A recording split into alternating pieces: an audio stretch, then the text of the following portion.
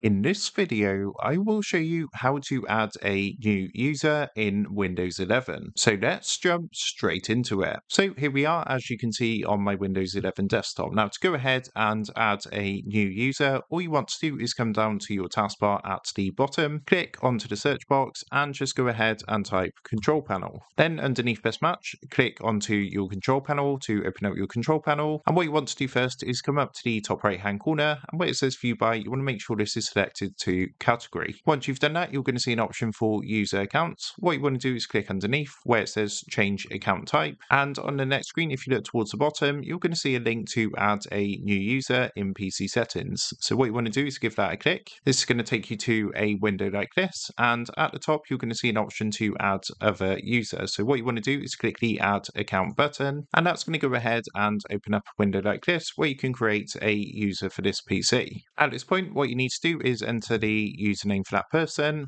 and you can also add a password as well and then just re-enter the password. And what you need to do is come and fill in these reminders down here. So if you forget your password and once you've completed this, just come down and click next at the bottom. So as you can see that user account's now been created and added to this PC. To switch your user account, all you need to do is simply come down to your taskbar at the bottom, click onto the Windows Start icon, and then go ahead and click onto your user profile, so just down here. What you can then do is click sign out, and then go ahead and sign in with the other user. So that's how to add a new user in Windows 11. With that being said, I hope this quick tutorial did help you out today. And if this did help you out, I would really appreciate it if you was to consider dropping down below the video, leaving a like, and also subscribing to the channel. With that being said, I just want to take a minute. Thank you guys for watching this quick tutorial, and I will see you in the next video.